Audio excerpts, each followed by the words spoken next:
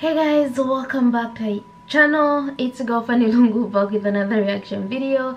If you're new, welcome. If you're not, welcome back. Thank you for 21,000 subscribers. You guys are the best. Keep liking, commenting, sharing. Everything that you guys do never goes unnoticed. Find us on Facebook and Instagram as Fanny and Jessy. Say hi, we'll say hi back. Our vlogging channel, Fanny and Jessy 2.0. Subscribe and enjoy the content that we put out. Let me know what you want me to react to by giving me the name or the link down below and I'll be sure to check it out. So today I'm going to be reacting to uh, Ahmed Deedat answer Moses, Jesus, Moses, Jesus and Muhammad comparison. First time coming across this. So without wasting time, let's get into the video.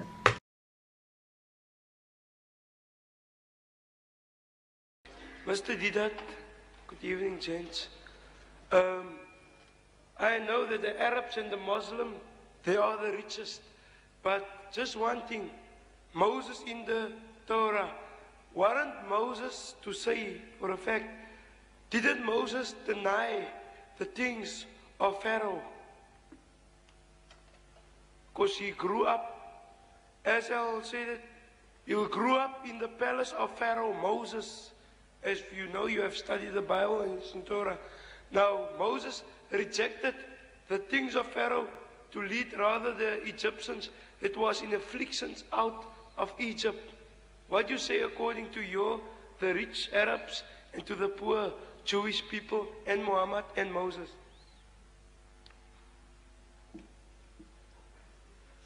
I, never understood the question at all. could you just, could I just get you a brief question? Sum it up in a nutshell. We don't want to give you a wrong answer. I haven't understood your question at all, my son. Will you please? I don't know what the question is. I don't know whether you people have understood. Just the main part of the of the What question. is the question? The question is, what you say is about this? Moses grew up in Pharaoh's palace. To grow up in a palace is something different. To grow up in the state where you are in affliction, affliction. And say, for instance, Muhammad didn't any, I won't say that Muhammad grew up with affliction. And I'll say that Muhammad also, because he married a rich, as you have said it, he married a rich woman. I don't know if she was a widow or anything. But the thing is that I want to know, why do you say? Because you say Muhammad's the greatest. Moses denied the riches of Pharaoh. Yeah. Christ denied the riches of the earth while the devil was entertaining in the world's kingdom. What do you say in conferring to that of Christ, Muhammad, and Moses? Thank you.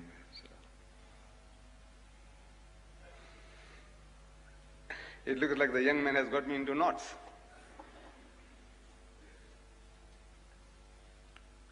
Uncle, I think he's trying to say, if you say Muhammad is great, and to clarify your point and to substantiate it, you're saying uh, Muhammad wasallam lived under poor conditions and denied himself the riches.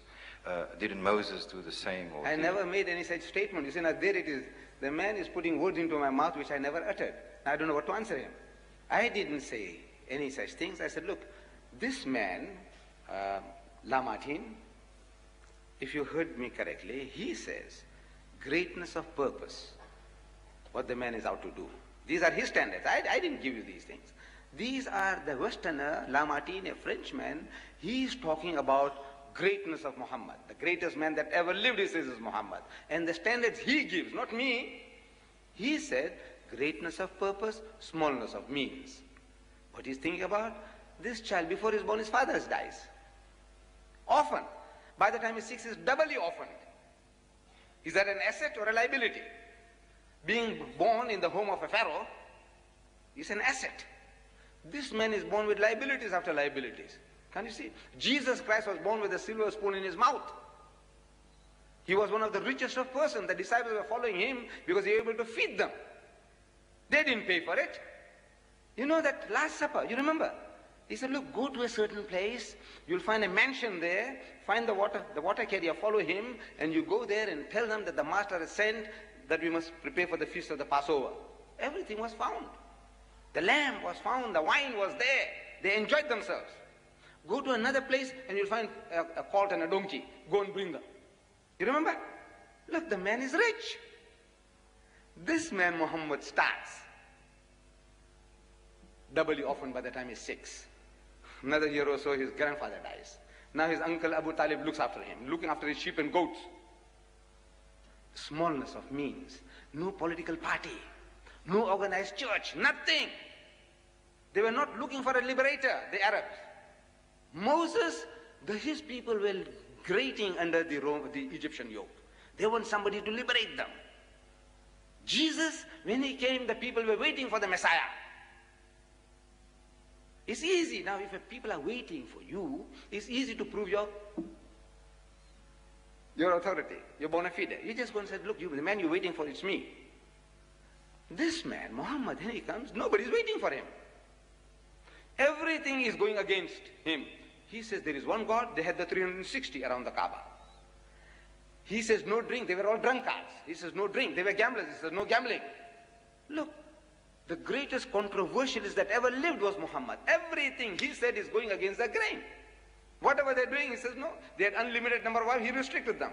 Slaves, he said, feed them with what you eat and clothe them with, with, with what you wear. And if they make a mistake, you are not inclined to forgive, give them the freedom. At every step, what he starts with. And the achievement. The results. Look at the results. 1,000 million. Started how? Moses had a good start. You know, they robbed the Egyptians of all the gold. You remember? All the jewelry. They made the golden calf out of what? Out of their gold? No. The Egyptians' gold they stole. See, they had a good start. Jesus had a good start, a mighty good start. Muhammad, this is how he began. So I didn't say that. I'm only quoting. Now, if you think that Lamartine is exaggerating, then you must prove to the contrary. You must prove to the contrary that this man is exaggerating. Is there another question?